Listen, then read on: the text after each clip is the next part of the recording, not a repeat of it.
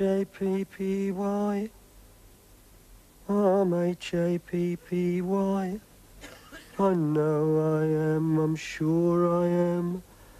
M-H-A-P-P-Y. I know I am, I'm sure I am. He's H-A-P-P-Y.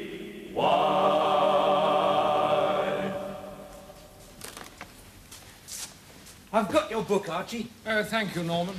Just plump my pillows, will you? Let me tuck you in. You've made it all roly-poly. Careful. Hello, what's this? It looks like blood. What? Oh, my God, I've hemorrhaged. Get me the nurse, quick. No, no, it's all right. It's tomato sauce. I wish you wouldn't frighten me like that. I've got enough to worry about. How's the pain, Archie? Don't talk to me about pain, Norman. I know all about pain. I've been there. I lived with it. Just don't ask me to talk about it. Oh, my God. Sorry, Archie. I don't think I can stand much more than this. Who do you think you are, Florence Bleeding Nightingale? What do you mean? You know what I mean. I've been watching you. You've been cutting up his meat, peeling his grapes, moistening his lips with a damp flannel. You'd think no one had ever had an operation before. Please, Figgis, not now. I haven't got the strength to argue. Well, what's the matter with you all of a sudden? I've got post-operative depression. I don't know what came over me. I suddenly thought of Mother, and Oh, uh, God. Never mind, Archie. You read your book. What is it, the ABC of hypochondria? no, British birds. Oh, you're feeling better then. Real birds. Oh, just look at that plumage. You know, Norman, we go around with our eyes shut. We ought to live every day as though it were our last. Yes, and one day we'll be right. I used to be like that, you know, proud, unruffled. Just look at me now. I was like these birds, thought I'd live forever. Do you know that man is the only animal who knows he's going to die? That's very interesting. No, it isn't. How does he know? Has he ever talked to a ruddy rabbit? Do me a favour. Ignore him, Archie. Look, he's had a simple operation. I don't know what all the fuss is about. No one peeled grapes for me.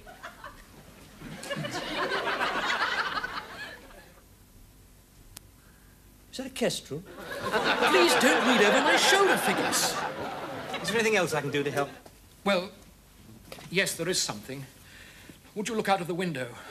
Is there a man outside, swarthy, dark moustache, light suit? No, no, that's the third time you've asked me that, Archie. Who is it? The mafia? No, no, it's just some strange fancy. I keep thinking there's this man outside. It must be my mind uh, playing tricks. He's rambling. Uh, Oh dear, what's the matter now? I want to tinkle. Oh, not again. I'll fetch a bottle. Look, do we have to have all this? It's a perfectly good place down the corridor. Listen, Figgis, there's nothing I'd like more than to point Percy at the porcelain again. I'm supposed to be having a complete rest. Well, you're certainly getting that.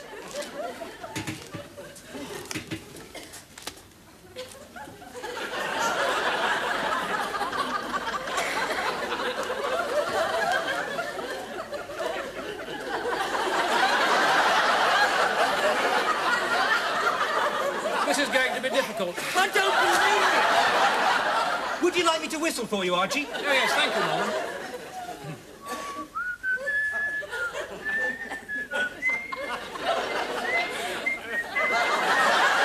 That's it. I can't stand it. I'd rather watch Open University than this. What's the matter? What's the matter? 30 years of the National Health Service, the proudest jewel in Labour's crown, and I've got to watch you waiting hand and foot on this Tory twallop? Now you're even whistling for him. Some people will always be serfs at heart. Just a minute, Archie. I'm going to have a word with him. No, Norman, wait. Uh...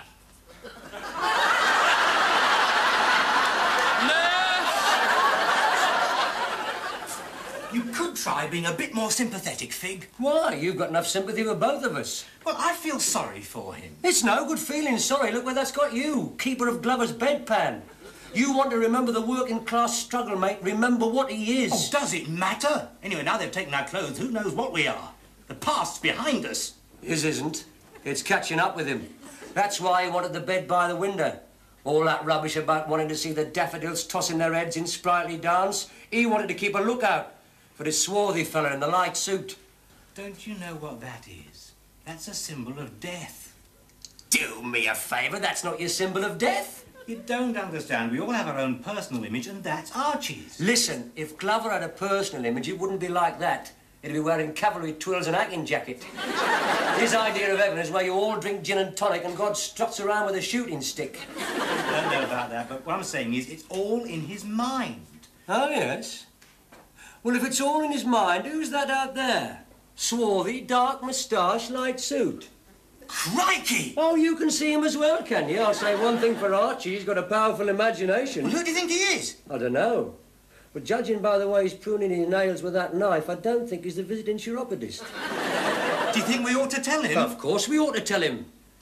I wouldn't miss this for worlds.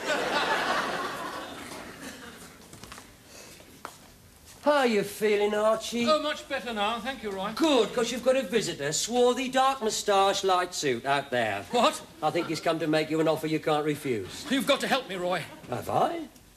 Well, don't look like that. He's threatened to cut my liver out. What shall I do? Tell him you're having it done on the national health. Look, I wouldn't ask, but I'm a sick man. I, I need help. You wouldn't pass by on the other side, would you? Yes? No, you wouldn't. You know what they say about you round here? If you're in trouble, go to Figgis. Do they? Yes. And you know why? Because they trust your Fig. Oh, I wouldn't say that. It's true. Everyone knows under that rough exterior you're all heart. Oh, I don't know. What do you mean? What bleeding rough exterior? He just means that you're the salt of the earth, Fig, always ready to defend the weak against the strong. Everybody knows that. I'm not just saying that. I know you're not. You would never ignore a cry for help. That's true. Good, I knew I could depend on you. What? Hey, he's coming in. Well, tell him I'm not here. We can't do that. Look, what's all this about, anyway? Well, look, I hope you won't judge me too harshly, but it's the old story, I'm afraid, of two people who thought they were in love. Strike me. I wouldn't have thought he was your type. I'm not talking about him, it's this girl, Anna. We had this stormy relationship. Oh, yes. What do you mean, stormy relationship? Well, you know how it is, Figgis. Oh, yes, I know how it is, all right. A full moon, intoxicating perfume, eyes of fire, skin, the texture of silk. Oh, yes. What was she like? Wonderful, wild, passionate. The pictures fell from the wall that night, Fig. What do you mean the pictures fell from the wall? Anyway, Nikos found out about it. He's a fiancé and he's sworn revenge. He's Greek and they take this sort of thing very seriously. They say he's very handy with a knife. Now, what do you mean the pictures fell from the wall? Well, if you think I'm confronting an enraged Greek with a knife in his hand, you're very much mistaken. What do you mean the pictures fell from the wall? Will you shut up? How does he know I'm here? Well, maybe he thinks you've had an accident. Either that or he's going to arrange one. Look, all you've got to do is hide me. And what do you expect me to do? Drop you down the laundry chute? Please. Fig. Oh, all right. Norman, go and keep an eye out for him. What are you going to do? Never mind, just leave it to me. I thought I was safe in hospital. In this place, you must be joking. I don't want to worry you, but people have been known to die in here. What are you doing? Just shut up and give me an hand.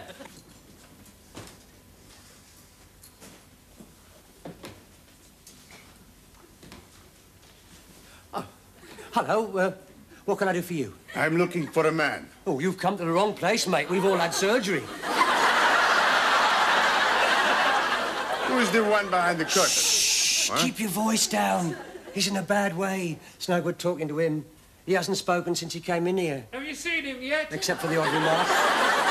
Seen who? Who does he mean? Oh, he's rambling.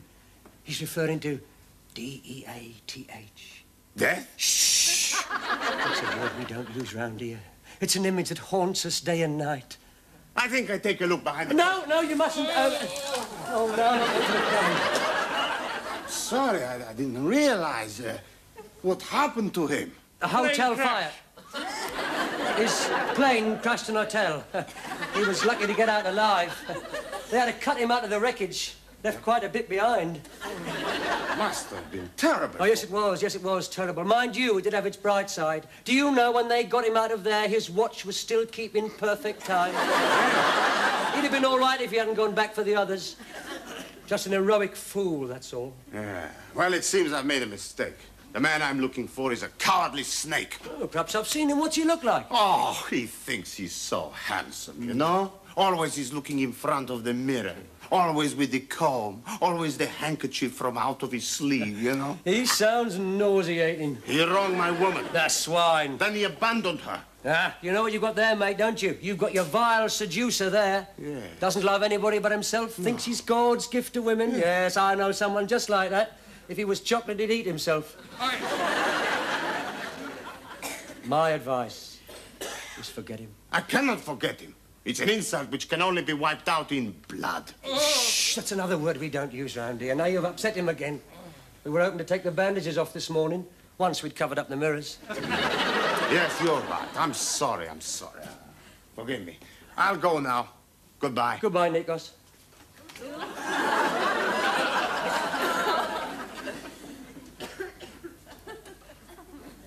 How did you know my name? Didn't you say? No, I don't think so. I smell snakes. I think I'll have a look behind his back. no, no, no, I, I think I... Thanks, everybody, for a little talking. I come back later. You've been lying to me? Willow. And when I said to him, Dicky Bird, why do you sit? Sing Willow, willow, tit, willow, tit, willow. Very good Figgis. What's the matter with Glover? He's like the dicky bird. He's feeling a bit willow tit willow this morning.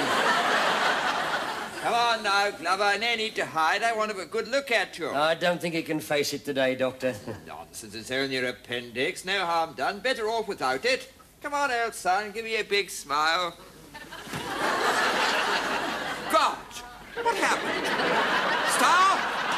I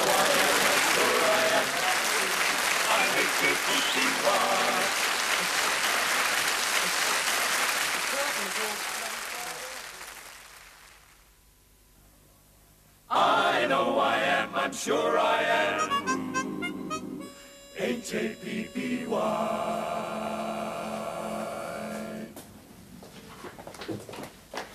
I know what I'm talking about, Gupta. I said bandages, and I mean bandages. Why is Glover wearing bandages all round his head? Come on now, Glover, show him your bandages. What bandages? The bandages you are wearing, where are they? This is your idea of a joke, Glover. It's not very funny. It certainly isn't. Mr. Thorpe's got to operate this afternoon. Look at them hands. He couldn't cut his dinner with them. Not on. Thank you, Figgis. It's all right. At least someone here is taking this seriously. Perhaps you can explain. Why is he wearing those bandages? What bandages?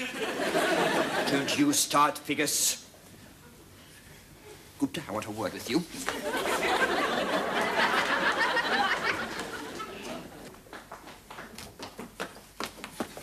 Ah, what do you think about that, Gupta? Yes. Yes, what are they up to? Figgis was definitely covering for him. Mind you, it is possible that Glover is suffering a personality disorder brought on by surgery, which causes him to regress into himself and lose his identity. Hence the desire to be faceless, which manifests itself in his schizophrenic behavior with the bandages. You mean to say he's gone bananas? You could put it like that. He looks sane enough to me. But how do you explain the bandages? What bandages?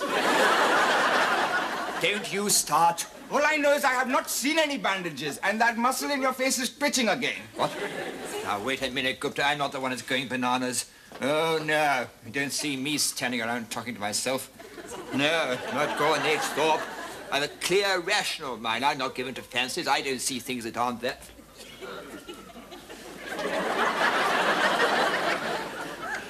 He's still there. What's he doing? Throwing his knife into a tree. I think maybe he's waiting till it gets dark. I don't think this is a good idea. Of course it's a good idea. Come on, let's have a look at you. My God, the return of the invisible man. Come on, get in the Glover's bed. I don't want to. Come on. He's been eating biscuits again. That's the least of your worries. What do you mean? If there's going to be any violence... There won't be any violence. He's looking for somebody swathed in bandages, but when he finds out that it's you and not me, he'll be satisfied. But when I take them off, he's going to expect some horrible, ghastly sight. What makes you think he's going to be disappointed? I'm not a horrible, ghastly sight. you will be if you don't get into this bed. Look, am I asking too much, Norman? After all, I had your operation. Yes, but you had an anaesthetic. Look, you know what? You know what I would say if I were in your position? It's a far, far better thing that I do now than I've ever done. It's a far, far better thing. Who said that? Sydney Carton. That's wonderful. Did he say anything else? Not a lot. It was just before they cut his head off. What? He's gone. He must be somewhere in the building. Right, quick. Oh, dear. What's the matter? I'm getting my prickly heat again. Oh.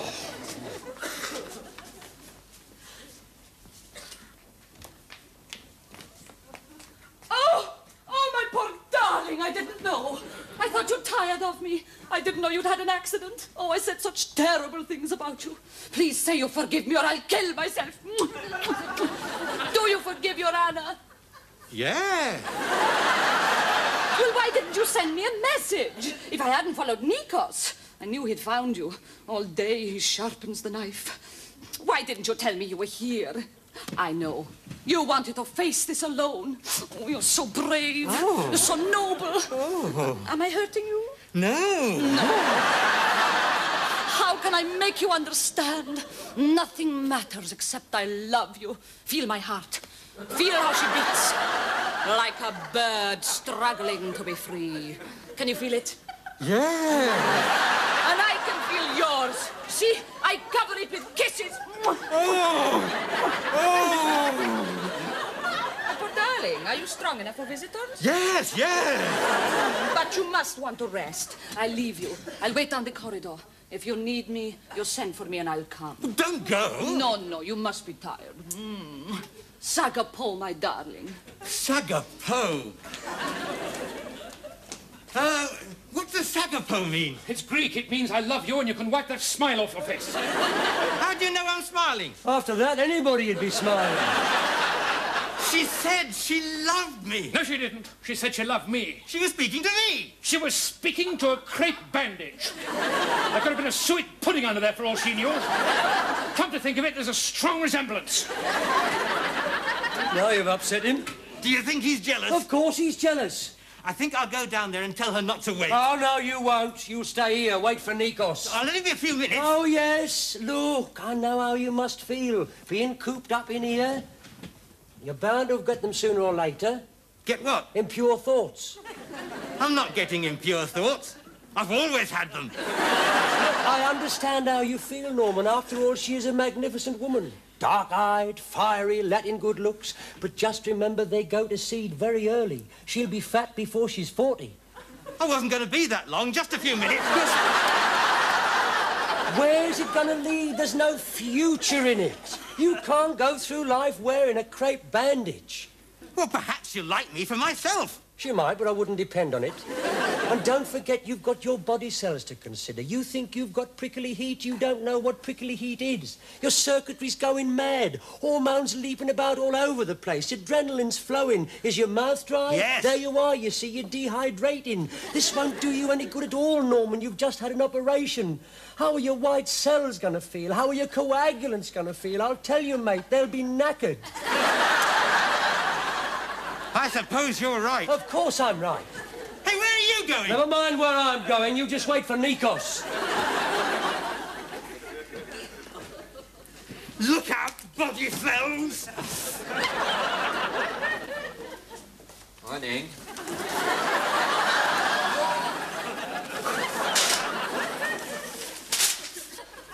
Oh, my darling, you shouldn't have come. I had to. No, but you shouldn't be on your feet. I hope I won't be for long. Sagapo!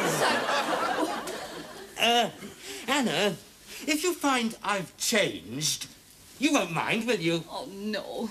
I know you've changed. Even your voice is different. But I don't care. And I don't care if you go to seed. What? Do you know something? It's a far, far better thing I do now than I've ever, ever done.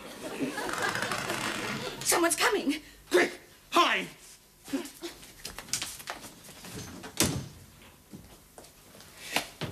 I'm seeing things again. Take a hold of yourself, Gordon.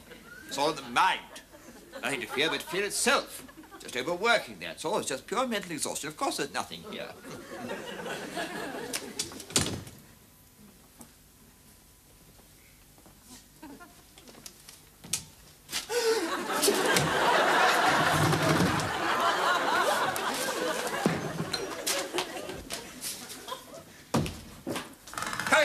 I want to stand outside this door and don't let anyone in or out, you understand? Right. Good man.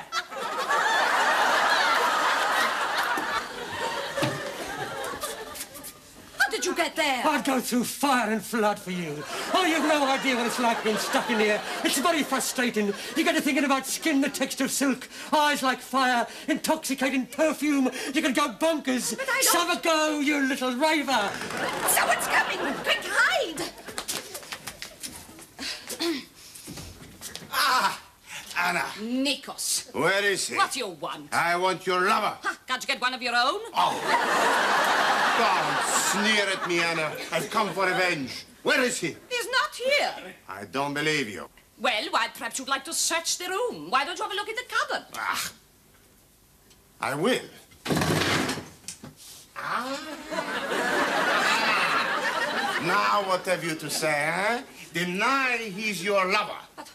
Well, if he's my lover, who is behind the curtains? What? My God! There are two of them! Anna, have you no shame? Oh, there was only one to start with. My God, don't tell me they're multiplying. Haven't you had enough? Which one of you is Archie Glover? Is it you? Is it you? And where is he? Hello! Oh, my darling! Oh, my God! There you are. Cowering in the background. You coward. You're a big multicolored coward. Oh, Ah, he's not even worth my anger. You take him. No, I don't want him. He's trying to make a fool of me. No, you obviously prefer him to me. You have him. No, I never want to see him again. Take me home, Nicholas. Very well. Get out of here before I change my mind. You. You are a very lucky man. lucky? I'm in surgery. You could have been in intensive care. Yeah, I've got a piece of good till the mind's gone. A once brilliant intellect destroyed by overwork. The old marbles are completely dislodged now. I'm seeing them everywhere. Take one of these tablets. They'll make you feel a little better. Are they safe? Oh, yes. I take them all the time. They make you little salad, that is all. None that'll do any good. No, it's the end of a brilliant career. Who's going to trust me with a scalpel after this? I could go gaga at any moment.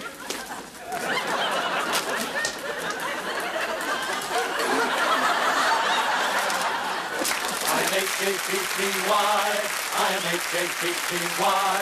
I know I am, I'm sure I am. I'm H-A-P-P-Y. Yes, I'm H-A-P-P-Y. I'm H-A-P-P-Y. I know I am, I'm sure I am. I'm H-A-P-P-Y. Oh, yes, I'm H-A-P-P-Y. Yes, I'm H-A-P-P-Y. I know I am, I'm sure I am. Yes, I'm H-A-P-P, H-A-P-P, only when I laugh. H-A-P-P-Y.